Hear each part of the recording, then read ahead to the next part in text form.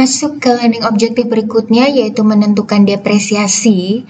Kalau tadi di learning objektif pertama kalian sudah bisa menentukan harga perolehan uh, dari fixed asset. Nah, sekarang bagaimana kita mengalokasikan uh, biaya dari fixed asset itu? Nah, itu yang disebut dengan konsep depresiasi.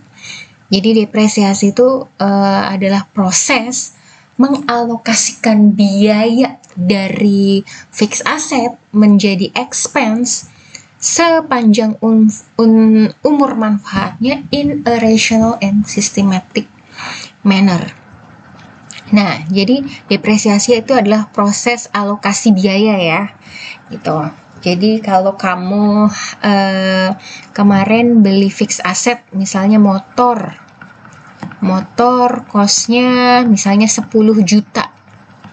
Nah, 10 juta ini nanti akan kamu alokasikan e, misalnya dia umur manfaatnya 4 tahun menjadi expense di tiap tahunnya. Namanya depreciation expense. Depreciation expense. Jadi di setiap tahunnya ini akan dialokasikan uh, cost dari motor ini itu yang disebut dengan depreciation expense. Kenapa harus dialokasikan Bu? Gitu. Karena PPE tadi uh, manfaatnya terbatas ya, umur manfaatnya terbatas gitu. Kalau tanah kan uh, unlimited, jadi nggak perlu didepresiasi. Nah, karena ini umur manfaatnya terbatas, makanya perlu dialokasikan kosnya ini. Nah, pengalokasian kosnya ini nanti yang disebut dengan depreciation expense. Nah, ingat expense itu adalah cost yang sudah terpakai, cost yang sudah expired. Jadi ketika setiap akhir tahun uh, istilahnya motor kamu kan sudah kepake ya, udah kepake setahun. Nah, itulah yang disebut dengan depreciation expense, cost yang sudah expired, cost dari PPE yang sudah expired. Itulah depreciation expense. Nah, lalu komponen-komponen apa yang digunakan untuk melakukan perhitungan uh, depreciation expense? Nah, Komponen-komponen yang penting adalah cost itu sendiri. Masih ingat cost kan? Cost adalah semua pengeluaran yang diperlukan uh, sampai PPE kamu, sampai fixed asset kamu itu siap digunakan. Oke, kemudian komponen yang berikutnya adalah useful life.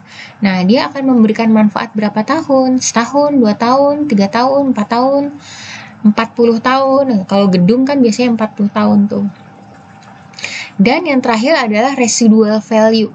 Residual value ini adalah perkiraan dari nilai aset di akhir umur manfaatnya. Jadi misalnya kayak tadi kamu beli motor uh, akan kamu pakai selama empat tahun. Nah di akhir umur uh, di akhir setelah manfaatnya selesai gitu ya, setelah empat tahun, nah itu motor masih ada nilainya nggak? Kalau misalnya dia kira-kira bisa dijual di harga 500 ribu gitu ya, misalnya ya perkiraannya. Nah, itulah 500 ribu itulah yang disebut dengan residual value, nilai sisa. Gitu. Nah, lalu yang perlu kalian perhatikan adalah jadi di sini Uh, ketika kita mengakui depreciation expense, uh, kita laporannya depreciation expense itu nanti di debit. Nah, ini akan uh, mempengaruhi income statement ya akan mempengaruhi rugi laba.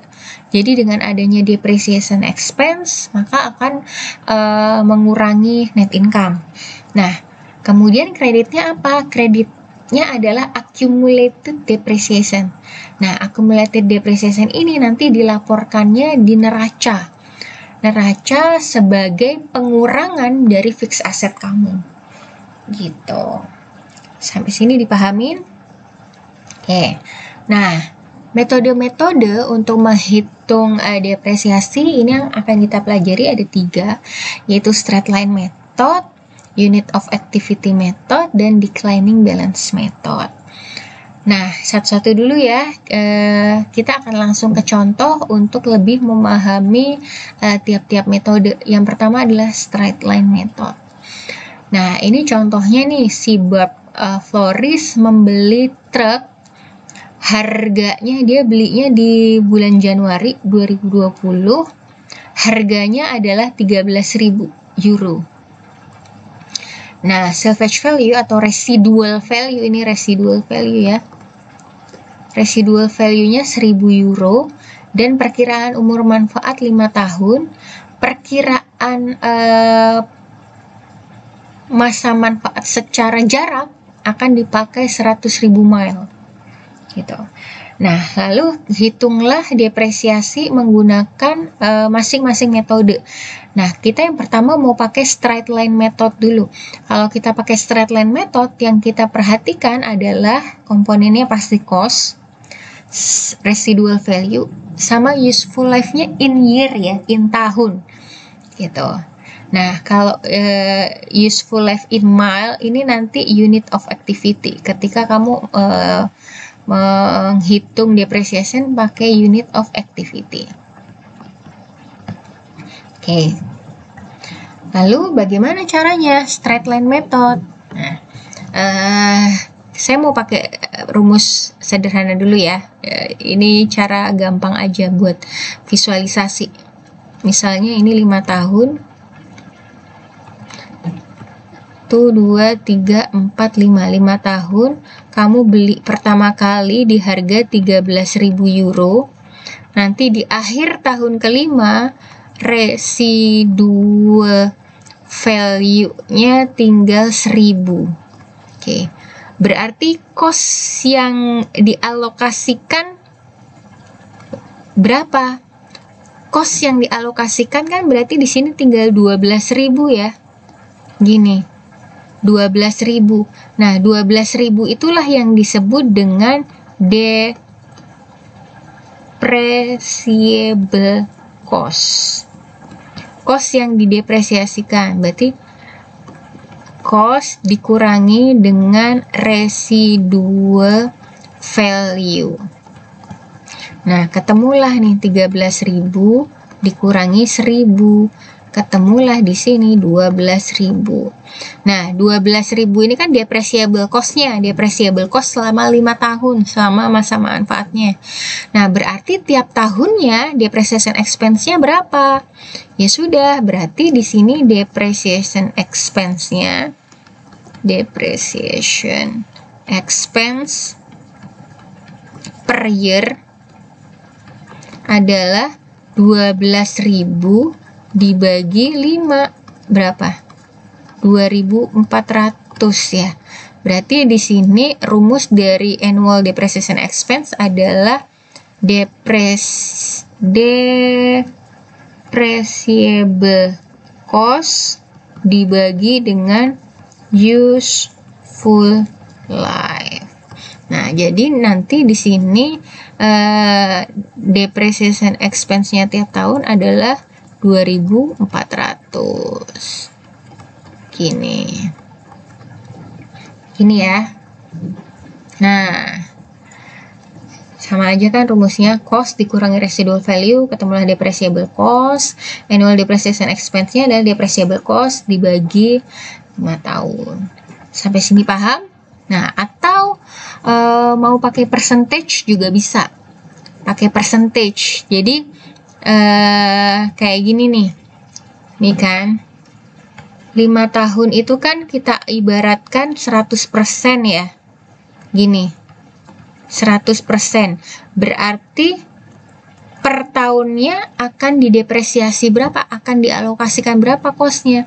20% 20% 20% 20% nah jadi uh, depreciation expense-nya gimana? Annual depreciation expense-nya. Saya tulis di sini aja ya. Annual annual depreciation expense sama depreciable cost dikali rate-nya. Nah, depreciable cost-nya berapa? Depreciable cost-nya kan 12.000 ya. Tadi eh, cost dikurangi residual value dikali rate-nya. Rate-nya dari mana 20% ini? Dari 100% dibagi 5. Gitu. Nah, ketemulah nih annual expense-nya 2400. Kalau ditanya eh, dep accumulated depreciation-nya berapa di tahun pertama 2400 akumulasinya. Akumulasi depresiasi di tahun kedua berapa? 4800 dari mana? 2400 tambah 2400 ini ya. Kalau akumulasi depresiasi tahun ketiga dapat dari mana? Ini tambah ini tambah ini ketemulah ini. Dan seterusnya Nih, kalau kamu mau membuat uh, tabel depresiasinya seperti ini nih. Nah, di sini kalau uh, di tabel uh, depresiasinya ini kelihatan book value-nya. Nah, book value itu apa? Book value itu book value itu adalah cost dikurangi sama accumulated depreciation. Ini book value, nilai buku.